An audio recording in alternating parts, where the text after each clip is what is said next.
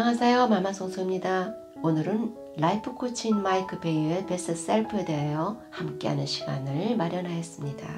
마이크 베이어는 life coach로서 정신건강 문제를 해소하기 위하여 문화적이고 사회적인 변화에 필요한 의식을 갖도록 도우며 최고의 자아를 갖도록 돕는 코칭 프로그램을 운영하고 있습니다. 작가는 이 책 서문에 단순한 행동이 우리 삶에서 가장 강력한 행동이 될 수 있다 라고 쓰고 있습니다. 단순한 행동은 사랑하면서 우리가 취하는 집중하고 의식하는 행동을 말하고 이러한 행동이 우리 삶에서 하나의 전환점을 만든다고 보고 있습니다. 작가는 이 책에서 우리가 살아가면서 대면하게 되는 문제 해결을 위해서 우리의 최고의 자를 찾아냄으로써 우리의 잠재력을 극대화하도록 돕는 내용으로 작가의 경험과 누적된 결과물의 내용을 중심으로 해서 말하고 있습니다. 내면 깊이 들어가 보는 행동은 나에 대해서 집중할 수 있는 도구가 될 수 있고 직면한 문제를 침착하게 살펴보고 나를 위한 최선의 방법을 찾아내서 결단할 수 있게 한다고 보고 있습니다. 작가는 또 사람들이 삶 속에서 작동하는 의식에 관심을 갖고 많은 상담을 통해서 사람들이 현실에서 직면하는 문제들을 다루고 왔는데요. 코칭 프로그램을 통한 관점은 생활 속에서 최고의 자아를 찾아내고 그 자아와 하나가 되어 삶이 변화되어지도록 코칭이 필요하다고 보고 있습니다. 그렇다면 사람의 삶 속에서 중요한 자아를 발견하고 자신을 알아가면서 우뚝 일어서기 위해서 어떠한 노력을 해야 할까요? 지금부터 알아보도록 하겠습니다. 첫째, 최고의 자아를 찾아라 라고 합니다. 책에서도 언급되었지만 사람은 이 세상에 똑같은 존재를 찾을 수 없습니다. 즉, 나와 똑같은 사람을 이 세상에서 찾을 수가 없다는 의미입니다. 외모뿐만 아니라 성격, 생활 방식도 다릅니다. 성장 과정도 모두 다르고 갖고 태어난 DNA도 당연히 다르겠죠. 말하자면 여러분 개개인은 세상에 둘도 없는 소중한 존재라는 의미입니다. 소중하고 세상에서 유일한 존재인 여러분이 이 세상에서 행복한 생활을 영위할 수 있도록 튼튼한 자아를 위해서 할 수 있는 방법 중 하나로 일기 쓰기를 들었습니다. 일기 쓰기는 자신을 탐구하고 성찰하는 시간이 되기 때문입니다. 또 자신의 성격을 써보는 것도 자신을 들여다볼 수 있는 좋은 방법이라고 합니다. 자신을 알아간다는 것은 매우 의미가 있고 바로 그 자리에서 새로운 방향으로의 전환점이 될 수도 있기 때문입니다. 한 걸음 더 나아가서 여러분의 최고의 자아가 현재 여러분의 위치와 상황에서 부끄러움을 느끼지 않도록 도움을 주려면 어떻게 하면 될까요? 우리는 살아가면서 가끔은 뻘쭘해진다거나 부끄러운 마음이 들 행동을 하기도 합니다. 이럴 때 생활 속에서 만나는 상황마다 여러분의 최고의 자아가 활동할 수 있도록 스스로 질문하는 방법이 있는데 이러한 방법은 스스로 life coach를 하는 것으로서 매우 좋은 방법이라고 합니다. 최고의 자아가 여러분의 삶 속에서 힘을 받도록 노력하고 유지하는 것이 좋겠습니다. 최고의 자아를 찾기 위한 방법으로 감사하는 생활을 들고 있습니다. 감사하기는 최고의 자아와 연결되는 탁월한 방법이라고 언급되어 있네요. 아마도 한두 번씩은 실행해 보았던 방법일 수도 있습니다. 바로 감사 목록 작성하기입니다. 목록 작성하기는 반복되게 실행하여 몸에 익히도록 하여야 할 것입니다.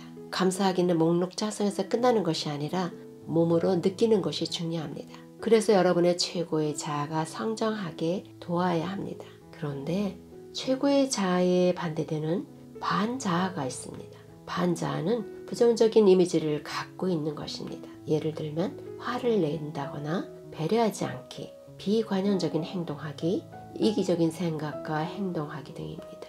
여러분의 이러한 반자를 찾아내고 관리해 나가는 것이 필요하며 나의 마음을 살피고 다스릴 때 비로소 반자도 변화되기 시작합니다. 그리고 스스로 자긍심이 높아지고 마음의 평안이 자리 잡게 됩니다. 최고의 자아로 변화되기 위해 지켜야 할 원칙은 호기심, 정직함, 열린 마음, 의욕, 집중입니다.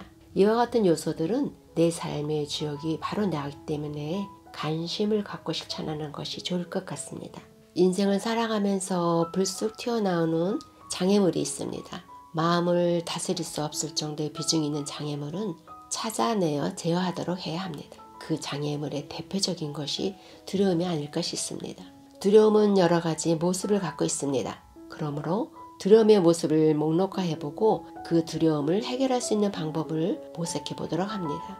두려움의 반대편에는 믿음이 있습니다. 무엇이든지 해낼 수 있는 믿음이 있다면 두려움이 틈타지 못할 것입니다. 이 책에서는 두려움을 없애는 시각화 작업을 소개하고 있습니다. 자, 우선 눈을 감고 두려움을 상상하라. 두려움 감정까지도 마음속에 그려보아라. 그 다음엔 그 모든 것을 여러분의 마음속에 있는 커다란 상자에 넣어라. 그리고 그 상자를 점점 작게 줄여서 여러분의 손바닥에 올려놓을 수 있을 정도까지 압축하라. 이번에는 바닥에 보이지 않을 정도의 깊고 거대한 협곡의 가장자리에 서 있다고 상상해봐라. 그 상자를 바로 그 협곡에 내던지고 보이지 않을 때까지 지켜봐라. 다음에는 뒤로 돌아서라. 조금 떨어진 곳에 야외 사화장이 보인다. 다음에 온수 꼭지를 틀어라. 그러면 따뜻하고 포근한 감각이 온몸을 휘감도록 한다. 눈을 뜨고 믿음에 의해 되살아난 상쾌한 느낌을 받아들여라. 벌혈 대상이나 두려움의 덩어리가 마음에 스트레스를 줄 때 실제로 이와 비슷한 시각화를 하곤 합니다. 정말 효과가 있다고 말씀드릴 수 있겠습니다. 마음이 후련해지고 평안해지는 것을 느낄 수 있으니까 여러분들도 한번 실천에 옮겨보도록 하시기 바랍니다. 최고의 자아를 찾기 위해 여러분만의 고유한 여정을 즐기는 것이 중요하다는 말도 기록되어 있습니다. 누군가와의 비교는 별 쓸모 없는 일이라고 합니다. 여러분은 여러분만의 고유성이 있기 때문에 어느 누구와도 비교될 수 있는 것이 아니라는 의미지요. 자신의 자아를 튼튼하게 다듬어서 생활하는 과정에 굴곡이나 어려움이 튀어나와도 거뜬히 평정할 수 있는 마음이 되어야 하겠습니다. 작가는 이 책에서 코칭 작업을 보다 효율적으로 진행하기 위한 도구를 만들어서 소개하고 있습니다. 즉, 사회적인 삶과 개인적인 삶, 건강, 교육, 인간관계, 직장, 영성의 개발, 과 같은 8가지 영역을 살펴보는 도구입니다. 사회적인 삶에서는 결국 서로 간의 사회적 상호관계성을 들여다보고 객관적인 데이터가 평가 자료가 될 것입니다. 경청, 반응, 공감 등과 같은 부분이 사회적으로 잘 이루어지는지 눈여겨볼 필요가 있겠습니다.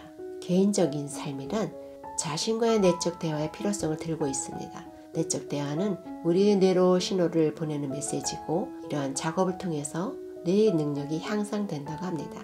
긍정적인 신호를 보내면 우리의 뇌는 긍정적으로 입력되고 좋은 시너지를 일으킨다는 보고가 있습니다.